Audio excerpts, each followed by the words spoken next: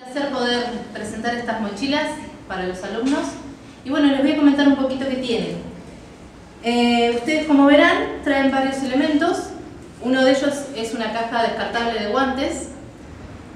Después tenemos el tensiómetro con su respectivo estetoscopio completo. Tenemos también un oxímetro de pulso, un descartador de agujas o de elementos cortopunzantes. Tenemos también una caja de curación, como ustedes pueden ver. Esta caja de curación también trae un centímetro. Y tenemos los elementos que están dentro de lo que es la caja de curación, como tijera, tenemos porta aguja, eh, porta bisturí, tenemos diferentes tipos de pinzas, ¿sí?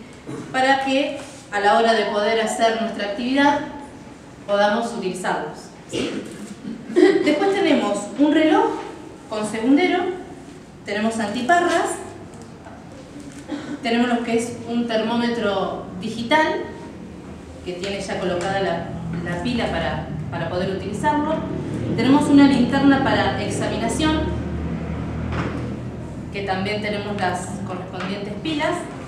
Tenemos dos tipos de bisturí con su numeración y tenemos un lazo hemostático,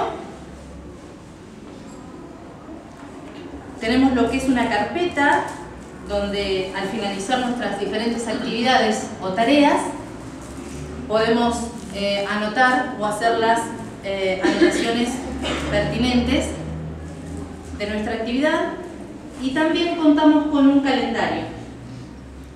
¿Sí? Tenemos un estetoscopio de final